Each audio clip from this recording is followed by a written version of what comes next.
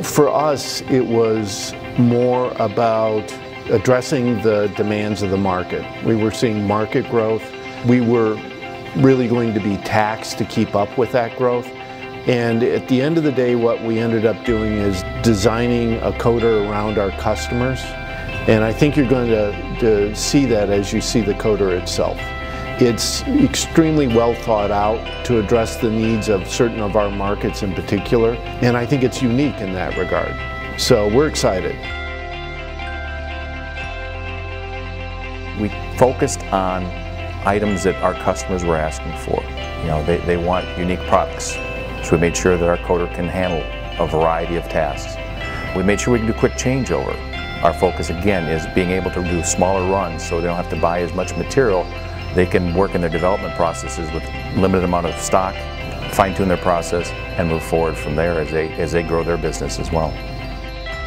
The big thing about having our team and where that extra quality comes from is that they care not only about what is produced, but they care about safety, they care about the quality, and they also care about each other.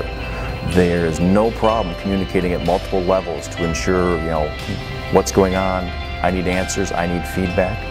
It's exciting to see people who don't just come in and basically just turn the machine on and then wait to when can I go home. Um, their real concern is turning that machine on, making good quality product and making sure that everything is doing what it's supposed to do during the day. At the end, when they leave their shift, they leave safely.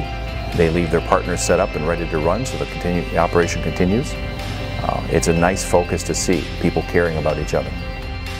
That willingness to tailor, that willingness to give really good service, and then really looking at some of the unique products that we can produce that other people can't really has won us you know some new business and, and we hope to continue that trend.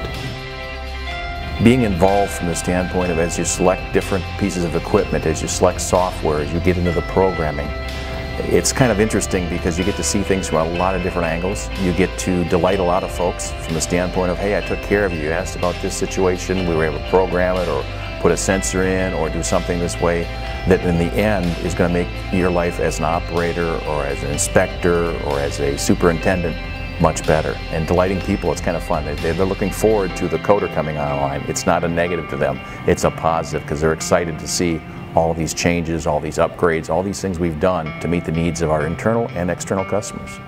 It's special for them. It's not a generic off-the-shelf, you know, one size fits all.